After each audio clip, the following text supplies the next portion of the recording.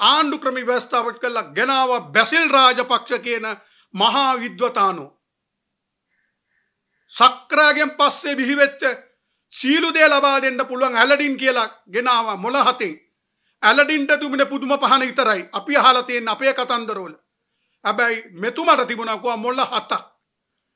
මිනිස්සු එක හිතුවා ඇමරිකන් මොලේ චීන මොලේ ඉන්දියන් මොලේ මේ මොල ඔක්කොම කලවම් කරගත්තු සුපිරි මොලකාරය කියලා. ඒ මොලකරු දැන් ඇමරිකාවට ගිහිල්ලා තියෙනවා. ආණ්ඩුවේ ඇමතිවරයෙක් ඊයේ මාධ්‍ය හමුවක් තියලා කියනවා සීවී රත්නායක ඇමතිතුමා ඇමතිවරුන්ටත් ගැටලු තියෙනවා පවුල් ගැටලු තියෙනවා නොඑක් නොඑක් අපහසුතා තියෙනවා ණයබර තියෙනවා එව්වත් විසඳ ගන්න ඕනේ. එතුමා ගියේ ඒ තියෙන එයාතුමාගේ ගැටලු ටික විසඳ ගන්න. වාසුදේව නායකකාර වාමාංශික ජනතාවට දැන් ඉතින් නැගිටියව කියපු කතන්දර කියපු ඇමතිවරයා කියනවා බැසිල් පවුල බලන්න යන්නේ නැතුව වෙන කවුරු බලන්න යන්නද කියලා ඇමරිකාවේ. ඒ කියන්නේ පවුල් බලන්න යන්න ඩොලර් තියෙනවා. පවුල් ප්‍රශ්න විසඳගන්න ඩොලර් තියෙනවා. ජනතාවට ඉන්ධන ටික දෙන්න බැරුව ඒ ඉන්ධන විල පාලනය කරන්න ලෝක ඉතිහාසයේ ලංකාවේ වියත්මගේ ආණ්ඩුව මහචාරවරෙක්ව වැඩ බලන මුදල් ඇමති දාලා ඉන්ධන මිල වැඩි කරන මුදල් ඇමතිව දාලා ආණ්ඩුව දන්නේ නැහැ කියන්න රෑ 12ට වැඩි කරා. මොකද අපි කියන්නේ ඊයේ කැබිනට් මණ්ඩලයේ තිබ්බා ඒකෙදි කියනවා මුදල් අමාත්‍යංශ ලේකම්වයි මහ බැංකුව අධිපතිතුමාවයි ඊළඟ කැබිනට් මණ්ඩලයට ගෙනක රටට පෙන්නවා දැම්ම ඉන්ධන මිල වැඩි කරන්න හැකි. රට අන්දලා වලිගේ නැති ගොනාගේ ආණ්ඩුව ඩොලර් ටික රැකගන්න කියලා ඉන්ධන මිල වැඩි කරා. මේකෙන් කාටද බලපෑවේ? අපි ඒ පැහැදිලි කිව්වා. ලක්ෂ 8කට අධික ත්‍රිවිල් රියදුරු. ඒ කියන්නේ තමන්ගේ ජීවනෝපාය, තමන්ගේ පවුල නඩත්තු කරන්න, දරුවන් ඉස්කෝලේ යවන්න, කුලිය ගෙවල් වලින් කුලිය ගෙවා ගන්න අමාරුවෙන් ඉන්න ත්‍රිවිල් රියදුරන්ට තනිකර මේ පහර ගැව්වේ සොච්චම් මුදලත් සාක්කුවෙන් උදුරගත්තා.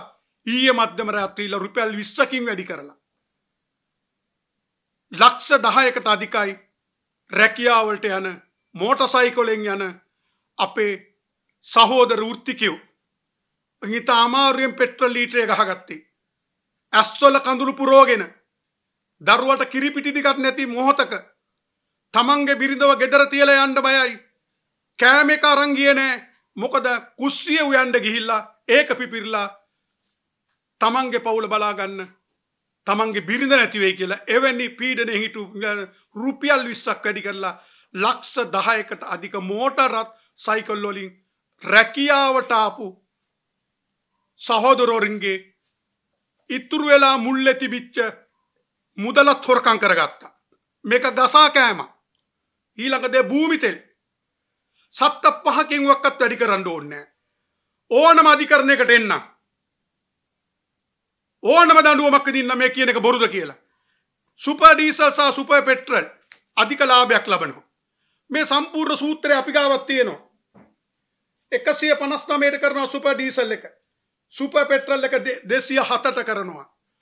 රුපියල් 100ක් වෙන්නේ නෑ ලංකාව වරායට එනකොට.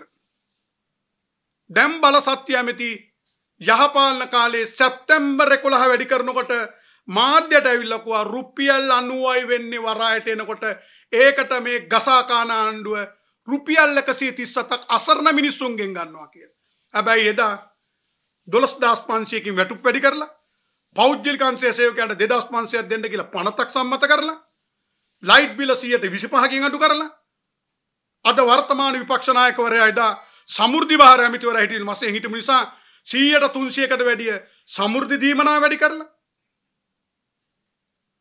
රක්ෂණය දරුවන්ට දීලා ගෑස් 1800කින් තර අඩු කරලා දීලා සියලු භාණ්ඩා සේවා අඩු කරලා දුන්නු මොහොතක තියලා ඉන්ධන මිල වැඩි වුණාම කියපු කතාව.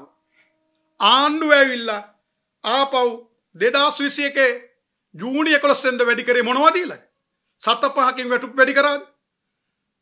විශ්‍රාමිකයාගේ විශ්‍රාම දීමනාව 2019 අනුමත කළා තිබුණා 2020 ජනවාරියේ ගෙවන්න. ඒක නැවැත්තුවා. ව්‍යාපාරිකයන්ට බිලියන 600ක බදු සහන දීලා සමස්ත රටම අත්‍යවශ්‍ය භාණ්ඩ ව්‍යාපාරිකයට ජනතාව ගසා කණ්ඩ ඉඩ හැරපු ආණ්ඩුව ඊයේ මධ්‍යම රාත්‍රියේ ඩොලර් ඉතුරු කරගන්න අසරණ මිනිහගේ පොකැට් එකට ගැහුවා.